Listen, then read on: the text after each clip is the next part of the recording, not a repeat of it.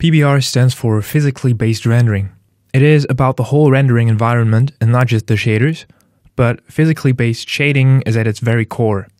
PBR is the standard for realistic shading across platforms. The specific implementations differ, but generally they can be used in exchange. Opposed to PBR, there is also non photorealistic rendering or NPR.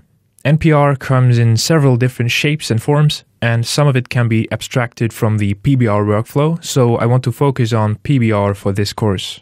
Like the name implies, physically based rendering is an attempt to accurately depict a rendered scene by describing it through its physical properties and simulating real physical interactions. For the shader, that means describing a material by the way it interacts with light. The great thing about PBR is that it breaks down the shader into objective parameters, which means that it will generally look accurate from all different lighting scenarios.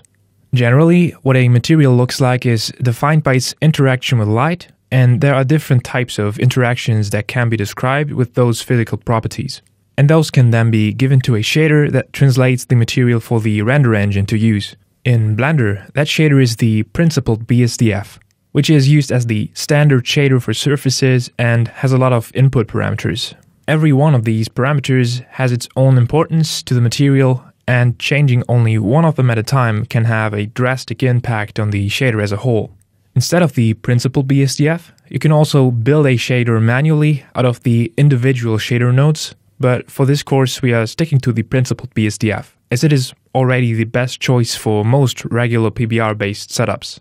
For perfect realism, you theoretically want to have accurate maps for each individual one of these channels, as real surfaces generally have a combination of all different interactions with light, however subtle they may be. But usually, it is enough to focus on the most characteristic properties of a material to make it look convincing, and approximate the rest with constant values.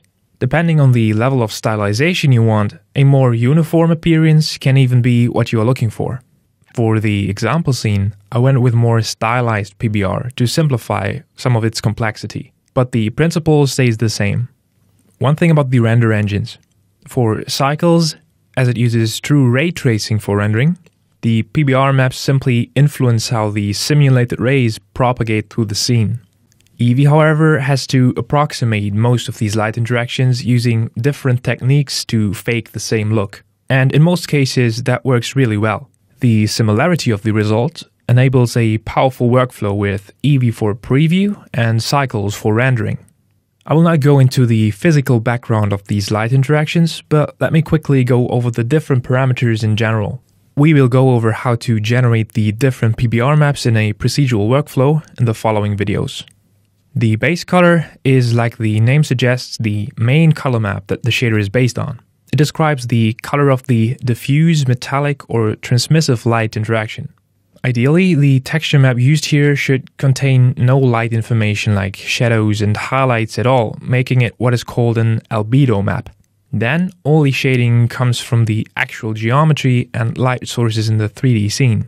If, however, the geometry is lacking the relevant amount of detail to produce this light information while rendering, which is the case most of the time, it can be useful to include some amount of lighting in the base color already. A color map that includes some lighting information like shadows and ambient occlusion is called a diffuse map, and it helps to add realism to objects with a low poly count when highly detailed displacement is not an option. In this example, you can see how the diffuse map adds more depth to creases that are not showing on a geometrical level. So you have to make the conscious decision whether or not you want to include lighting information into the base color map. With procedural shading, it is more straightforward to create an albedo map, as the lighting information comes with the rendering. From photographs, on the other hand, it has to be carefully extracted or avoided. While we are on the topic, I want to also talk about the shader displacement. Shader displacement is not part of the principled BSDF itself, but can be accessed through the displacement socket in the material output node. Cycles supports the option to displace the mesh on a shader level when rendering. That way, you can add additional geometric detail from within the shader editor using a displacement map generated just like the other PBR maps. What this displacement does is exactly the same as the displace modifier, only here you can use the shader nodes to drive how the mesh is displaced. That can be extremely useful to create highly realistic surface detail and also general procedural shapes based on the shader. However, to be effective, the mesh has to be highly subdivided, which drastically increases memory usage and render time, and it is only available using cycles currently. As you can see, the socket accepts a vector as the type, which means that you can technically displace any point on the mesh in any direction, allowing you to effectively change the complete shape of the geometry from within the shader. This, however, has, besides from looking very fancy, only rather few applications and is quite advanced and difficult to control. So, for the scope of this course, we are going to focus on the single dimensional displacement using a height map. And maybe at the end we can throw in vector displacement as a bonus. Let's move on to the next inputs of the principled BSDF. Subsurface scattering describes light penetrating the surface and being scattered beneath it, creating a glow where the light hits. Subsurface scattering can be very crucial for different material types, like, for example, skin, and add more depth and life to materials. But this type of light interaction depends highly on the geometry of the mesh and has to be simulated with a lot of rays to be accurate, which creates a lot of noise. Because of that, subsurface scattering only produces accurate results using cycles and has to be faked when using Eevee to work in real time. There are three maps to control the subsurface scattering in the principled BSDF. The subsurface input simply blends between the simple diffuse and the subsurface scattered shading as the base shader. They both also use separate base color maps. For the subsurface scattering, this can be plugged into the subsurface color socket. The third map is the subsurface radius, which determines the distance the light is scattered underneath the surface, and thus changes the softness of the subsurface effect. This input accepts a vector, which makes it possible to tint the scattered light by defining a different scattering length per RGB channel. The shorter this radius input, the more it converges to the diffuse shading. There are also different algorithms that can be chosen to simulate the propagation of the scattered light. The metallic input blends between a base shader that is using diffuse and reflective light interaction. Those behave fundamentally different, so usually it is a good idea to map the parameter's value to either 1 or 0, depending on the class of the material, and only use values in between to transition between them. Because they behave so differently, the metallic input influences the behavior of the whole shader a lot of these parameters only influence the non-metallic part of the shader. So for the showcases here, I will focus on other materials. The specular input controls the reflectivity of the surface. This reflection happens on top of the base shader, and its intensity depends on the viewing angle.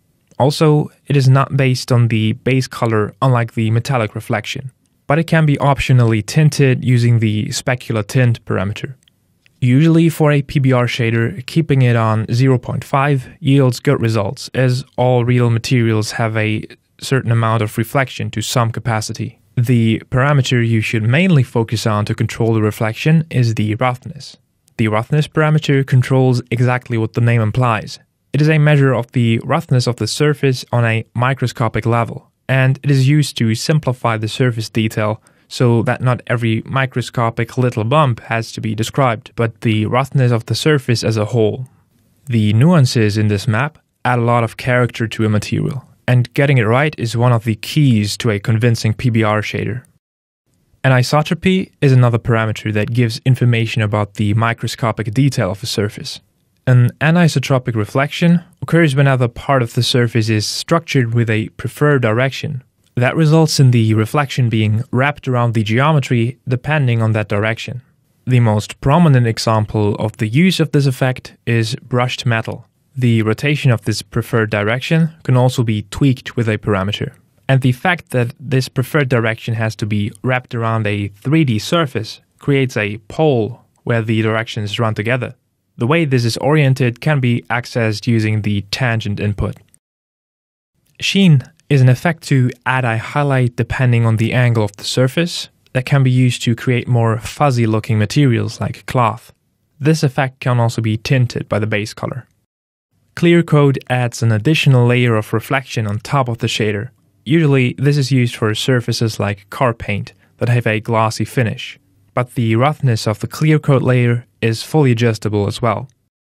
The transmission parameter controls how much light passes through the object to create glass like materials. How blurry this transmission is is controlled by both the surface roughness of the overall shader and additionally the dedicated transmission roughness. The IOR parameter also impacts the transmission. IOR stands for Index of Refraction, and it is another intrinsic material property that tells the refraction of the light when it's transmitted. The emission map is a simple emission effect that is added on top of the shader to create a glow.